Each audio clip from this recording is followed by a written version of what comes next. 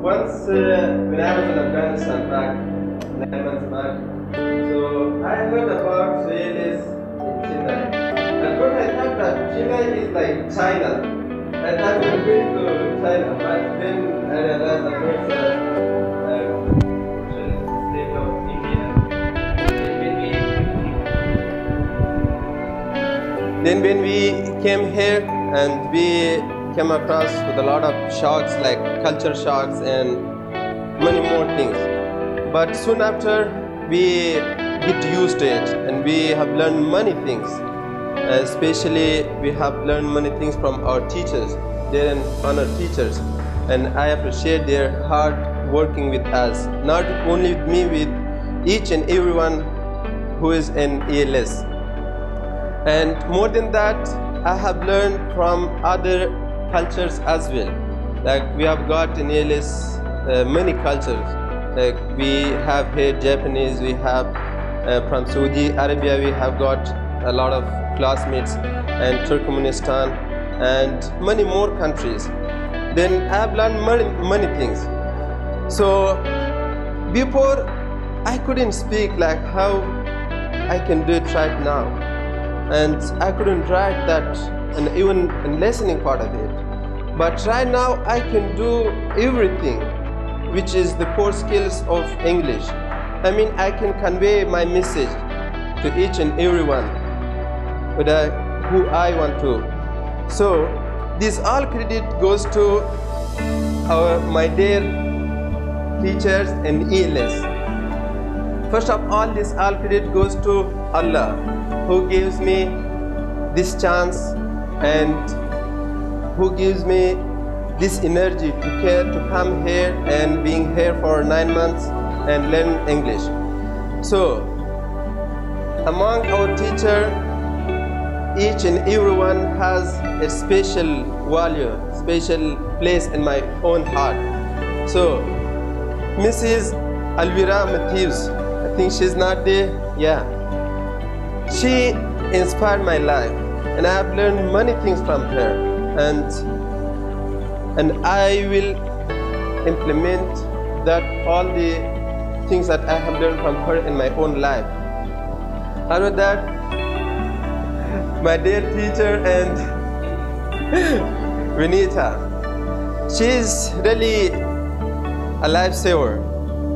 She helps people whenever whatever time I asked her, she helped me and helped me out. And after that, Mr. Raj, I really appreciate his hard working with students. And I am also a teacher. As a teacher, I know how he works hard. As a teacher, I can feel that.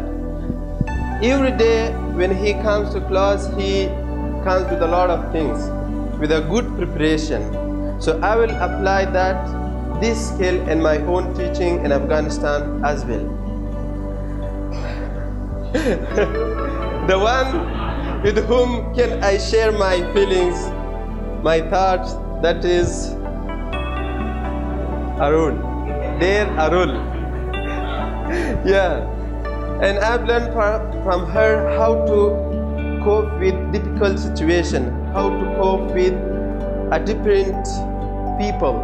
I have learned from her. And in this nine months, as a human, I came across with a lot of obstacles, with a lot of difficulties. But she was the one who was encouraging me and telling me always that you should be a strong person and you should a person to stand against these obstacles and cross this. Then I did the same. I appreciate that, really. And dear Parvati, whenever I was in her class, so in each class, I was just paying attention to her speech. I really like his way of speaking. And I was, uh, every day I was at least learning one sentence or a word and I was adding to my own dictionary or my own way of speaking. And I was learning, especially when it comes to pronunciation part of it. And more than that, I like his uh, method of running her class. Like uh, her class was really uh, lovely class. Uh, yeah, smiles in everyone's face. And the same time, she was also attending her uh, what uh, the program that she has, and we were learning many things. She was uh, teaching whatever she has done for that particular day. So I appreciate that. So again, this all credit goes to ELS community. I love ELS community and my own country, Afghanistan as well, where I come from. And this experience that I have got here, inshallah, I will share it over there with my own nation. And I hope once our Afghan nation will be as promoted as how now we see European and American countries are. So thank you, thank you each and everyone.